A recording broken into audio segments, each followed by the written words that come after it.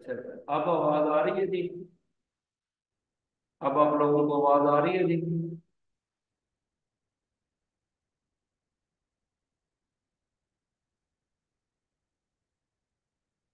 जी, अब अब आपको आवाज़ आ रही है। अब दोस्त बताइएगा जी।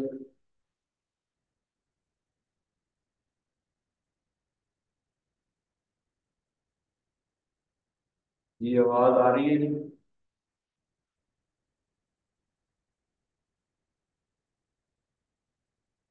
कमेंट कीजिएगा जी जल्दी से ताकि फिर आगे चले। चले। अच्छा जी हम ना आज सुबह जो हमने क्लास पढ़ी थी उसमें हमने सरकार वालम की ना पैदाइश के बारे में बताया था। तो आप याद रखिएगा कि सरकार दो आलम सल्लल्लाहु अलैहि वसल्लम जब इस दुनिया में ना तशरीफ़ लाए तो कहते हैं कि हज़रत अब्दुल मतलब जो थे ना जी, ये उस वक्त खाना काबा में थे। सुबह के टाइम में जी तो हज़रत अब्दुल मतलब जो थे खाना काबा में थे। और वहाँ पे कुछ खुशखबरी सुनाई गई आपको ना, कि आपके घर में क्या हुआ जी? बच्चा पैदा हुआ है। तो आप याद रखिएगा कि हज़रत अब्दुल मतलब बड़े खुश थे जी। और फिर जल्दी से जो है वो आए और हज़रत आमना से ना बच्चे को लिया, यानी सरकार को लिया और फिर खाना काबा ले गए। और आप याद रखिएगा कि हज़रत मोहम्मद अरबी सल्लल्लाहु अलैहि वसल्लम जो है ना जी उनके बारे में ये आपने याद रखेगा कि हज़रत हसान बिन साबत जो है ना जी, आपको पता होना चाहिए कि इनकी भी बड़ी लंबी उम्र है, ये शायर रसूल है जी। तो तकरीबन कहते हैं कि ये हज़रत हसान बिन साबत कहते हैं कि जब आका सल्लल्लाहु अलैहि वसल्लम इस दुनिया में तशरीफ़ लाए थे ना जी, उस वक्त मैं तकरीबन जो है ना मेरी उम्र में सात आठ साल का ना बच्चा था, मैं मामलात को, चीज़ों को जो है वो देख सकता था जी सात आठ साल मेरी उम्र थी। तो एक यहूदी जो है ना जी, उसने ऐलान किया था कि ए ग्रो यहूद, सब मेरे पास इकट्ठे हो जाओ। और वो इसका ऐलान सुनकर भागते हुए, उसके पास जमा हुए और उसने फिर उनको बताया कि जो आखिरी नबी है ना जी, वो आ चुके हैं। यानी आका सल्लम की पैदाइश के साथ ही ये सिलसिला जो है वो इन जूद को पता चल गया था। तो अब याद रखिएगा कि हज़रत मोहम्मद अरबी वसल्लम की जो खुशी मनाई गई ना जी, जिसे हम आपको है कि अकीका बोला जाता है जी, ठीक है ना वो कितने दिनों बाद किया गया जी? अकीका जो है ना जी, सरकार वसल्लम का पैदाइश से सात दिन बाद किया गया था। और हज़रत अब्दुल मतलब ने आपको नाम दिया था मोहम्मद, यानी कि जिसकी बहुत ज़्यादा तारीफ़ की जाए। और आपकी वालदा ने आपको नाम दिया था अहमद। अहमद का मतलब है कि बहुत ज़्यादा तारीफ़ करने वाला। ठीक है ना जी? तो ये दोनों आपने याद रखने हैं कि अहमद का नाम जो है वो आपकी वालदा ने दिया था और मोहम्मद का नाम जो है वो आपके दादा ने दिया था। तो अब याद रखिएगा कि बकायदा आपकी, आप सल्लल्लाहु अलैहि वसल्लम जिस जगह पैदा हुए थे, उसका भी आपने जिस घर में पैदा हुए थे ना जी उधर एक मस्जिद बनाई थी। आपको होता है जी, जो मलका थी ना, मलका जुबैदा। जुबैदा जो है, ये हारून रशीद की ना बीवी थी, मलका जुबैदा। इसने मलूद मुकद्दस उसे बोलते हैं जी, जहाँ पे आका सल्लल्लाहु अलैहि वसल्लम जिस घर में पैदा हुए थे, उस जगह पे मस्जिद बनाई थी। इसने जी मलका जुबैदा ने। बाद में उसको मदरसा बना दिया गया। और आज एक मकतब है जी, वहाँ पे ना बेसिकली पढ़ाई का काम वहाँ पे होता है, बच्चों को एजुकेशन दी जाती है। तो मकसद है कि ये क्वेश्चन भी आ सकता है कि मलका जुबैदा ने किस जगह पे मस्जिद बनाई थी, जिस घर में सरकार आलम जो है वो पैदा हुए थे तो सारे दोस्त मैंने जी कमेंट कीजिएगा जी कि आप किस किस इलाके से जो है कि वो आपने ज्वाइन किया जी? तो ताकि पता चले कि आप लोग किस किस इलाके से मतलब है कि हमारी ये सेक्शन जो है वो ले रहे हैं।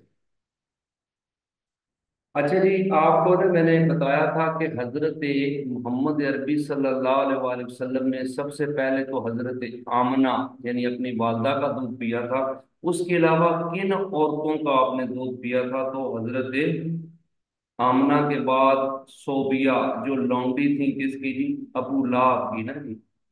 उनका दूध पिया था जी। और दूसरा आपने याद रखना है कि खौला बिनते मंजर है।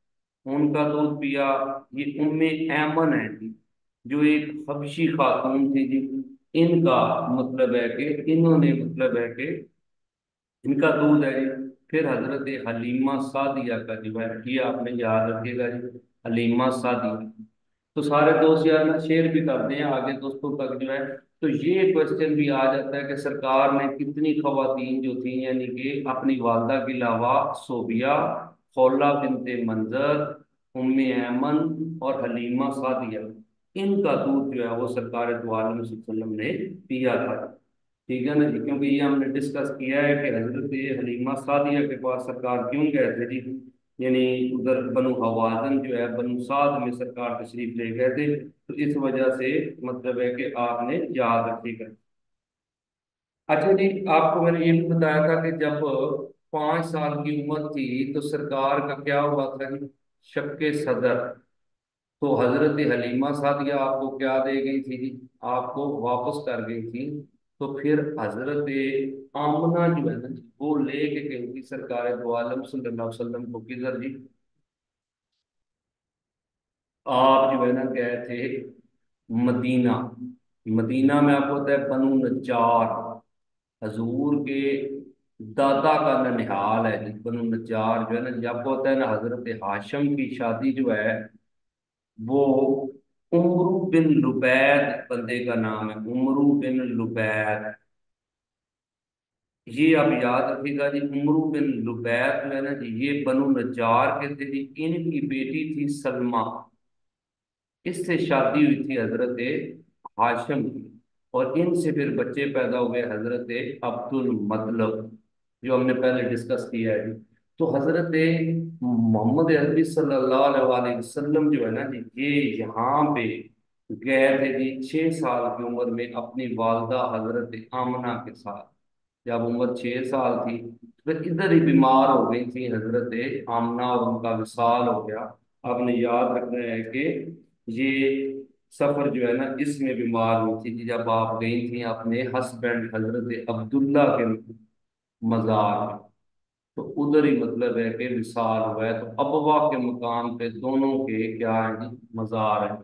तो ये आपने याद रखिएगा कि उमरू बिन जुबैर की बेटी हैं, सलमा जिनकी शादी हज़रत हाशम से हुई और उनसे बेटे पैदा हुए हैं हज़रत अब्दुल मतलब समझ आ गई? तो जब आप देखिएगा कि हज़रत मतलब है कि सरकार दोबारा हिजरत करके गए थे तो साहबा को बताते थे कि मैंने बनु नजार के जो तालाब थे, यहाँ पे मैंने तैराकी सीखी और अपनी बचपन की यादें जो है ना वो साहबा को बताते थे। समझ आ गई थी? कहते हैं कि जब मतलब है कि यहाँ पे ना हज़रत आमना जो है, उनकी तबीयत खराब हो गई तो यहाँ पे कुछ जो है ना उन्होंने चीज़ें कही हैं जी ठीक है ना जी? वो कहती है कि हर ज़िंदा मौत का मज़ा चखेगा, हर नई चीज़ पुरानी हो जाएगी, हर बड़ी चीज़ फना हो जाएगी। मैं तो मर रही हूँ, लेकिन मेरा ज़िक्र हमेशा रहेगा, क्योंकि मैंने एक पाक बाज बेटा जो है ना, उसको जन्म दिया है। तो याद रखिएगा कि एक पाक बाज बेटा जो है कहती है कि मैंने उसको जन्म दिया है तो मेरा ज़िक्र जो है ना, वो चलता रहेगा। अच्छा जी, आज जो आपके साथ मेन चीज़ डिस्कस करनी है ना जी, वो आपने याद रखिएगा कि सरकार दो आलम वसल्लम का ना एक सफ़र है जी। वो आपने ध्यान में रखना है कि वो जब आप वसल्लम जो है आपकी उम्र छः साल थी तो आपकी वालदा का विशाल हो गया था तो उसके बाद आपने ना याद रखिएगा, आपकी जो कफालत है ना जी, वो आपके दादा ने की थी। दादा अब्दुल मतलब जो थे ना जी, इन्होंने आपकी कफालत की। लेकिन जब आपकी उम्र आठ साल हो गई तो दादा का भी क्या हो गया जी? विशाल हो गया। तो अब याद रखिएगा कि दादा का भी विशाल हुआ आठ साल की उम्र में। जब आपकी उम्र आठ साल थी तो कहते हैं कि हज़रत जो अब्दुल मतलब है ना, इनकी छह बेटियाँ थी। यानी सरकार तो आलम की फूफियाँ कितनी थी? छह। और दस जो है ना वो चाचे थे, यानी कि चाचे जो थे, चाचाओं की तादाद जो है ना वो दस दी गई है और छह जो है ना वो फूफियाँ जी सरकार की। तो आपने याद रखना है कि हज़रत अब्दुल मतलब का जब विशाल हुआ था तो पूरा इलाका जो है वो सोगवार था और कई दिन तक जो है वो कारोबार जो है ना वो मअतल रहे थे। तो हज़रत अब्दुल मतलब ने अपनी ज़िंदगी में अबू तालब जो है ना जी, आपने याद रखना है, इनका असल नाम अब्दुल मुनाफ है। हज़रत अबू तालब का जो है ना असल नाम जो है वो अब्दुल मुनाफ है। कुछ लोग इन्हें इमरान भी बोलते हैं। तो आप याद रखिएगा कि अब्दुल मुनाफ जो है ना इन कुनीयत थी अबू तालब। यानी हज़रत अली के जो वालदे गिरामी है ना जी, इनकी कुनीयत क्या थी? अबू तालब, इनके बेटे थे तालब ना तो उस वजह से अबू तालब लेकिन असल नाम अब्दुल मुनाफ था। तो सरकार की कफालत जो है ना जी आठ साल की उम्र में किन के पास चली गई थी जी, हज़रत अबू तालब के पास चली ये आप याद रखिएगा कि कफालत किधर हुई। तो आपने ना जेन में रखिएगा कि हज़रत मोहम्मद अरबी सल्लल्लाहु अलैहि वसल्लम जो है, जब इनकी उम्र बारह साल थी तो इन्होंने अपने चाचे के साथ शाम का सफ़र किया था। और कहते हैं कि इलाका है बुसरा। बुसरा के इलाके में एक ना जर्जीस नामी रात था जी, जर्जीस। तो जिसको बहीरा भी बोला तो उस, उसने इस सारे काफिले को दावत दी थी कि आप मेरे यहाँ खाना खाएँ, क्योंकि सरकार तो आलम भी तो उसने फिर सरकार से वहाँ पे कुछ बातें भी की, ठीक है ना उसने आपसे कुछ सवाल किए जिनके आपने जवाब दिए तो उसने वहाँ पे ये पेशीन गोई की थी कि ये बच्चा जो है ना, कोई आम बच्चा नहीं है जी, जो मतलब है कि आप साथ लेके जा रहे हैं तो कोशिश करें कि इनको सीरिया ना ले जाए, क्योंकि कहीं कोई यहूदी जो है वो इनको नुकसान ना पहुँचाए। तो अब याद रखिएगा, कुछ लोग कहते हैं कि हज़रत अबू तालब ने जल्दी जल्दी जो है वो मामला किया और चीज़ें बेच के तो जल्दी वापस आ गए। कुछ लोग कहते हैं कि आप रस्ते से ही वापस आ अब ना एक जंग जो है ना, सरकार की उम्र जब पंद्रह साल थी ना जी तो आप याद रखिएगा कि पंद्रह साल उम्र जब सरकार की थी तो एक जंग हुई है जिसको नाम दिया गया है हरबे फुजार ये जंग आपने समझ नहीं कितने लोगों को पता है जी हरबे फुजार का? हरबे फुजार क्या थी जी, किसी दोस्त को पता है जी?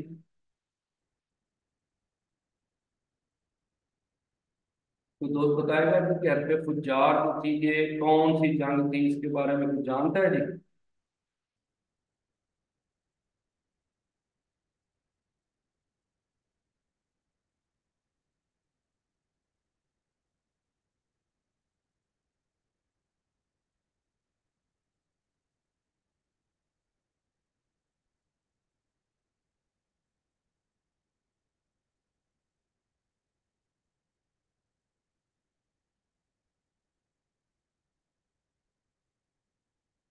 की कीजिएगा जी। नहीं पता जी।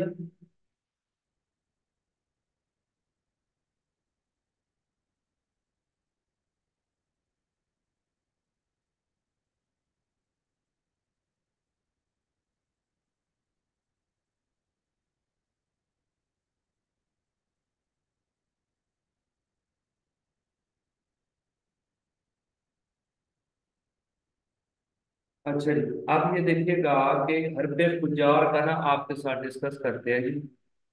ये एक जंग है जी जो आका वसल्लम जो है ना जी, उनकी उम्र जब पंद्रह साल थी तो ये जंग जो है ना वो हुई है। जी तो आपने ना याद रखना है कि हरबे फुजार जो है, सरकार की उम्र जब पंद्रह साल थी तो ये जंग हुई है। जी ये जंग क्यों हुई थी? इस ये एक जंग नहीं है कि तीन चार साल जंग रही है जी।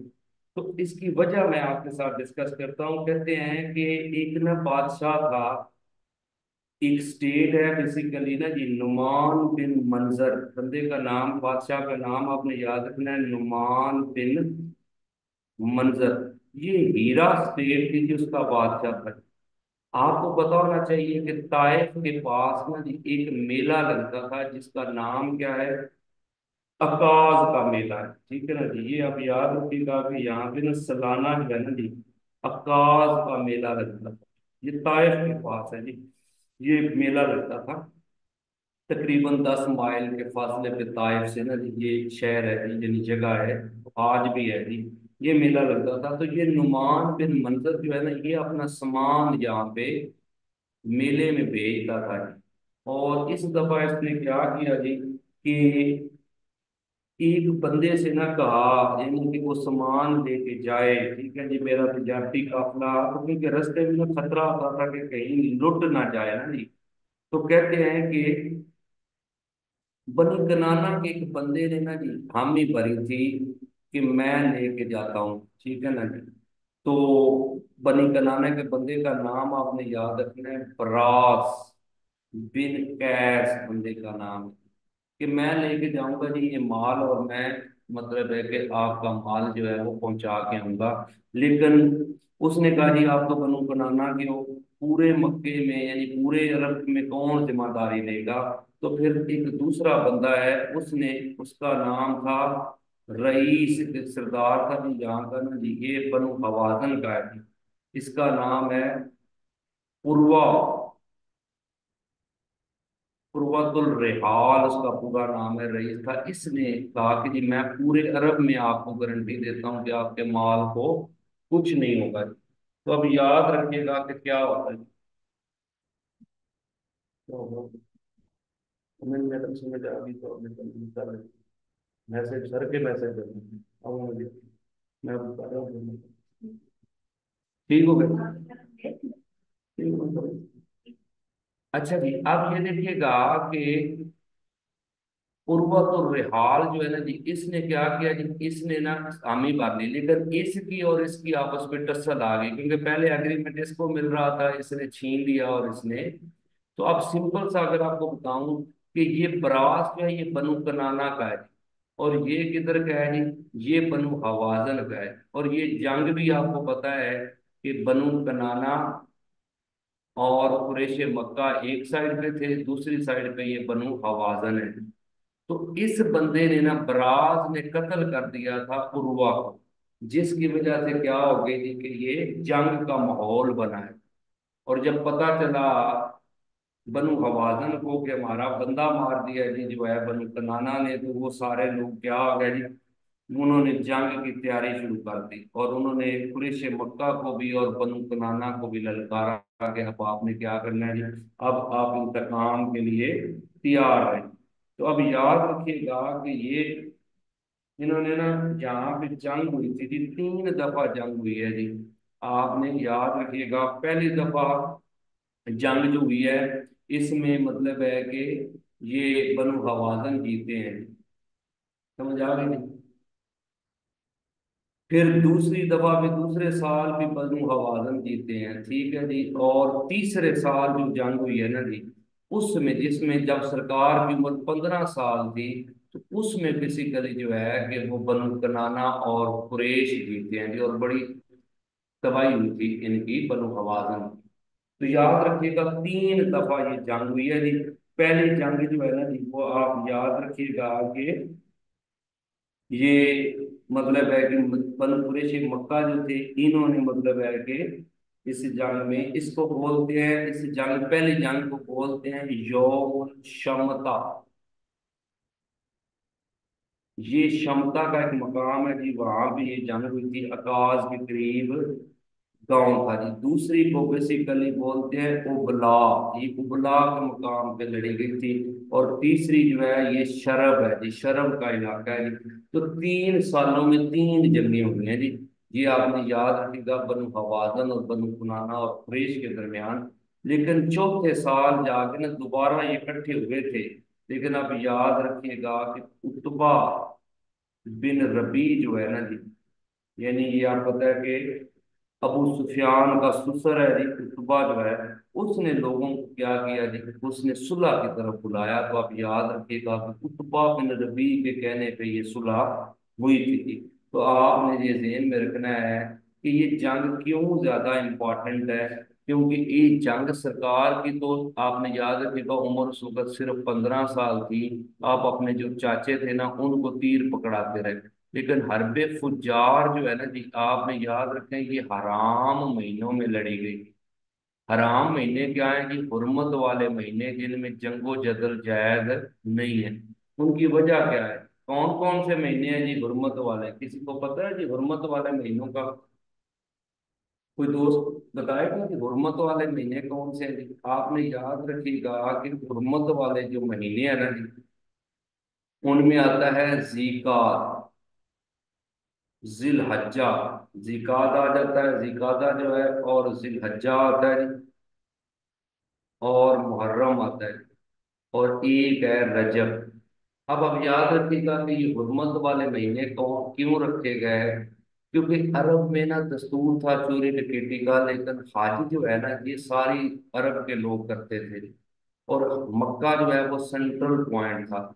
तो इन्होंने ना तीन महीने हज को दिए कि इन तीन महीनों में कोई चोरी डकैती नहीं करेगा अब बंदा कहता है, चलो, ये तो इकट्ठे महीने थे, क्योंकि एक महीना सफ़र में लग गया, एक महीना इधर हज पे और एक महीना वापस जाने पे। क्योंकि होता ये था, जो लोग हाजी आते थे ना, वो साथ सामान्य तिजारत भी लेके आते थे कि चलो, मक्का में क्या करेंगे जी चीज़ों को?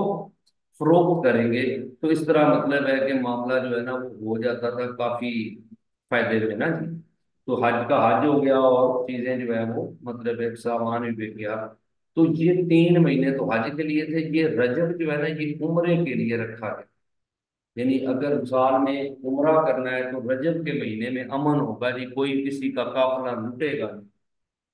समझ आ रही है जी? आप सारे दोस्त बताइएगा कि आपको हरबे फुज्जार की समझ आई जी कि ये जंग जो है ना बनु हवाजन और बनु बनाना और कुरैश मक्का में लड़ी गई थी। वजह इसकी वही थी कि जो सामान उठा था, उसके बाद बनु हवाजन का बंदा कत्ल हो गया था, उर्वा रिहाल और उसको मारा था बराज बिन कैस ने ना बनु बनाना के बंदे ने मारा था।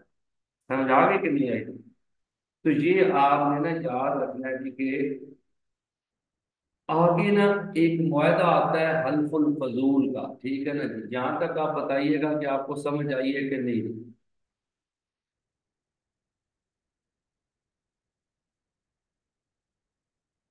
कुछ दोस्त कमेंट कीजिएगा जी फिर।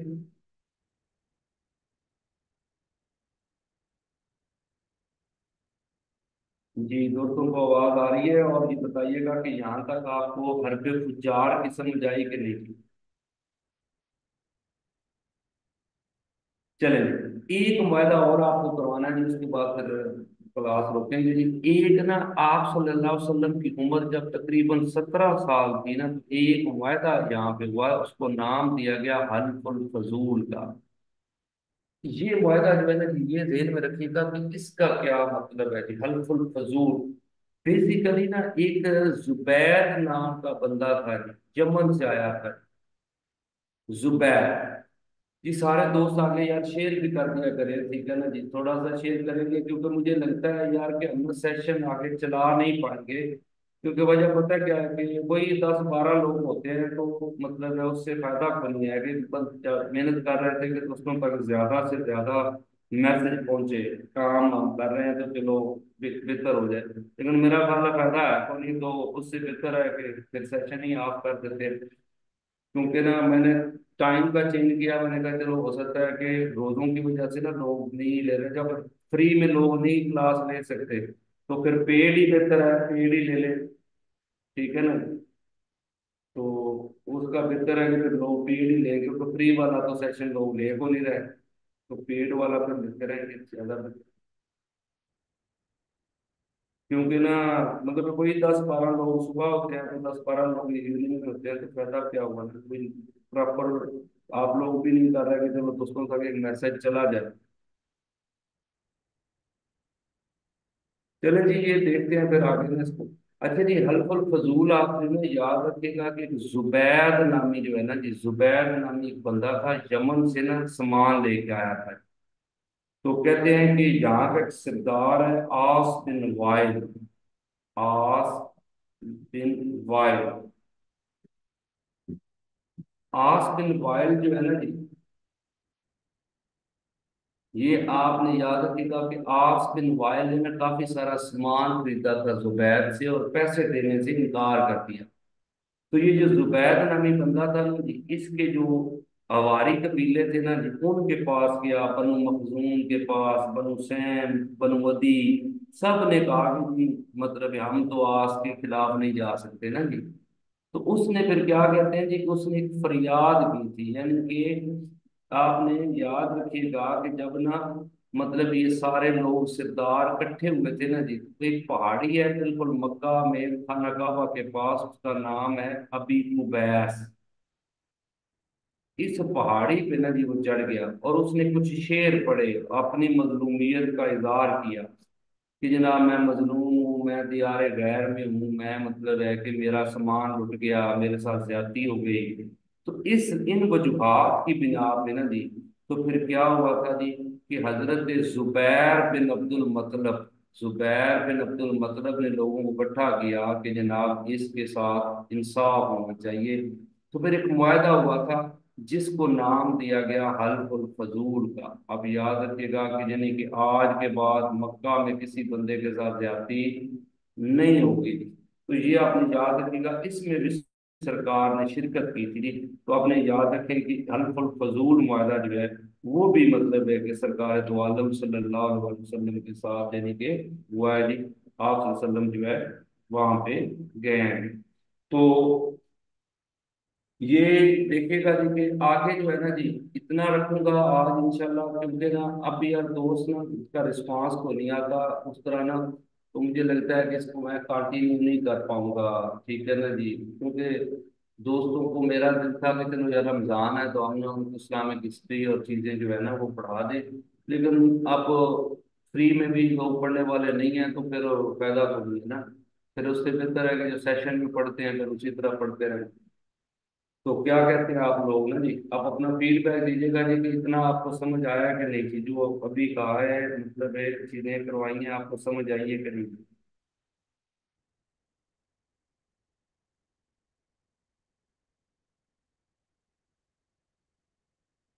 जी मतलब है कि हरफ फुजार का पता चल गया हल्फुल फजूल का पता चल गया, ठीक है ना जी?